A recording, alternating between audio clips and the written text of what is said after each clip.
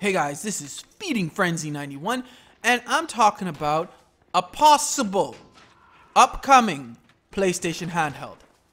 Now, let me just say, take all of this with a massive grain of salt because this is not even a, like I'm not even sure.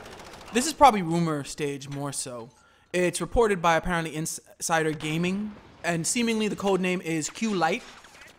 But here's where it confuses me according to the article, it says it will require the PS5. What does that mean? It goes on to say it's set to use Sony's existing remote play functionality to adaptively stream gameplay to the Q Lite up to 1080p, 60 FPS. Okay, that's fine. Like, you don't really need more than that for a handheld. But, guys, what exactly do you think it means? Like, you require PS5, so this somehow links to your console?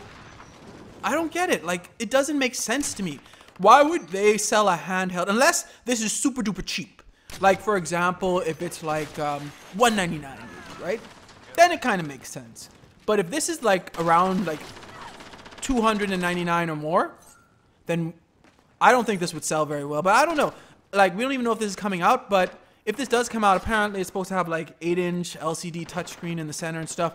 And if I guess if you're connected to your PS5, you're most likely able to play all the games on your PS5 on this. So, so apparently it's going to be built around cloud streaming. So, I don't know whether that's just through the service. I don't know whether you'll be able to like download games to it.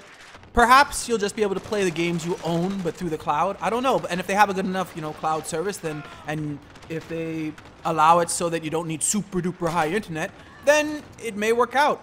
But this whole requirement to have the PS5 that's just weird to me. Even if it is just like an, I don't know, remote play, I guess. I, they have Sony's existing remote play functionality, they said. But that's just weird to me because what if people want to buy this by itself? I mean, I feel like would, even if they're playing PS5 games, it would make more sense for Sony to sell these as separate things, not require a PS5.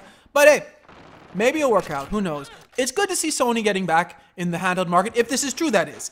Because, you know, the Nintendo Switch basically continues to prove that the handheld market is still a pretty big market. What do you guys think about this rumored PlayStation handheld?